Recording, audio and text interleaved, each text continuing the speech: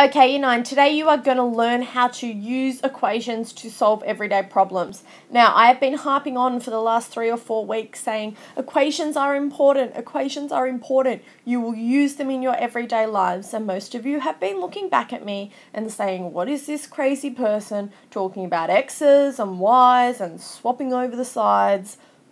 Today is going to make sense, okay? Today we are going to look at using equations or using that process of writing and solving equations in order to solve everyday problems. So, before we begin, first thing we need to look at is how do we really tackle this? So, when we use equations to solve problems, it's really important that we follow a particular set of steps. First, we will be given a worded problem. So, first thing, number one, we must read the problem. Now, if you just want to in your in your rule books at the moment, sorry, abbreviate this so maybe one read problem to find out what the question's actually asking us. The second is define a pronumeral.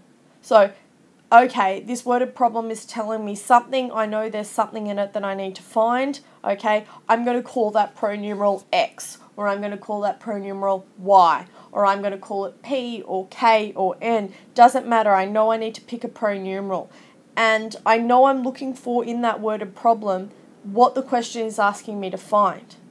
Then I write the equation using this pronumeral, then I solve it. Then, most importantly, I give my answer in words. So, my question was worded, my answer needs to be worded, and then I need to check and make sure my solution makes sense. This last point here, check and make sure the solution makes sense. This is what I have been going on about for the last three weeks. When you get an answer, look at it does it make sense? Okay, let's have a look at a few different examples. Okay, let's look at our first problem. So, example one 5 less than a certain number is 9 less than 3 times the number. What? That doesn't even make sense. Let's read it again. 5 less than a certain number is 9 less than 3 times the number. Oh, okay, now I've read my problem a little bit more carefully. It does seem to make a little bit more sense. So that was step one, read. The second step says define the pronumeral and write a statement. Okay, so this certain number, this is the thing that I don't know. It's saying a certain number, five less than a certain number, is three times the number. There's this number, and I don't know what it is. So I'm going to call it x. And my question says that 5 less than that certain number is 9 less than 3 times the number. So is means equals or equivalent. And it's 9 less than 3 times the number.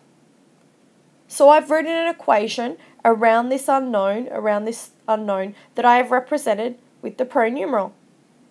Now guys, it's just a simply a matter of solving it.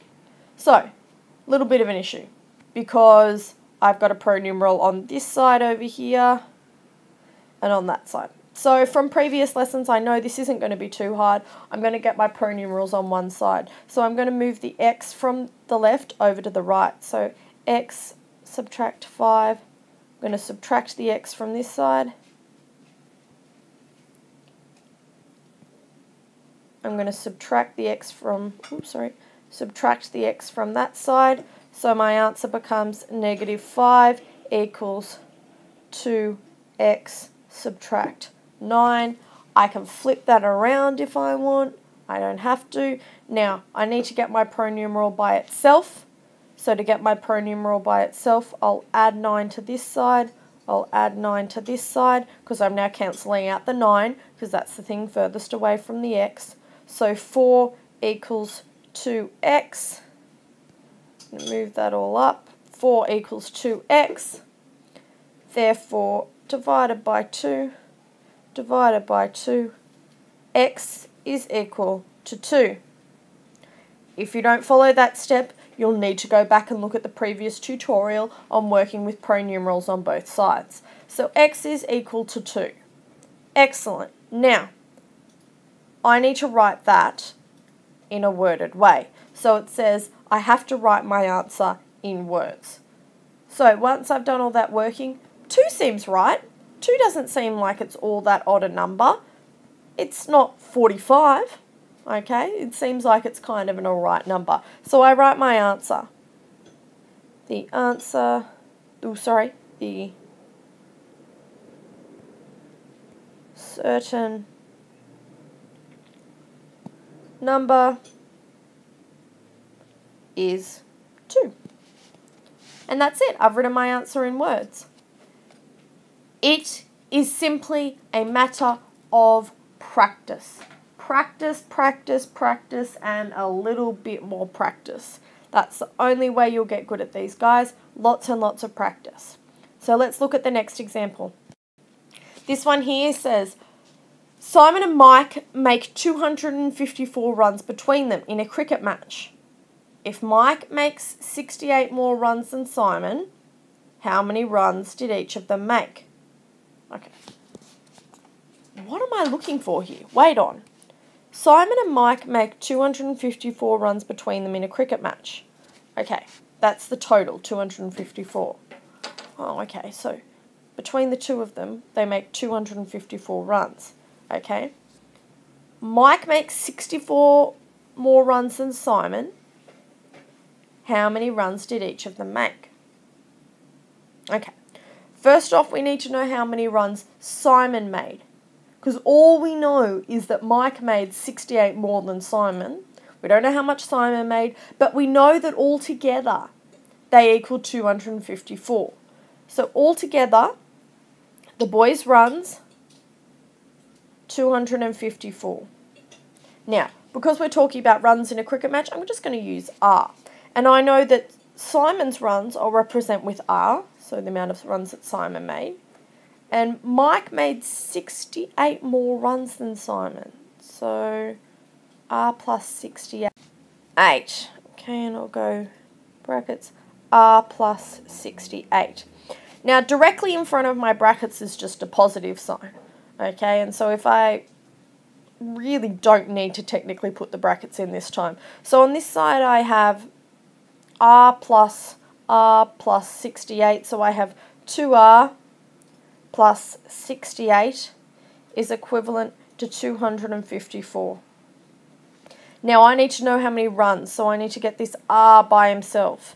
So to get 60, rid of 68 on this side, I'm going to subtract 68 from here and subtract 68 from there. So I'm left with 2r is equal to 254 minus 68, 186.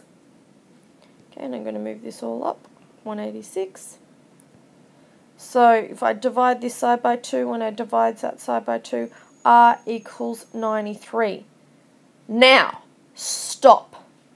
What does that 93 represent? 93 represents R. What is R in this example? R in this example is Simon's runs because we're using Simon as a base. So, Simon has made 93. Sorry, I've just deleted all that working. Simon has made 93. The question is asking us, how many runs did each of them make? Simon has made 93.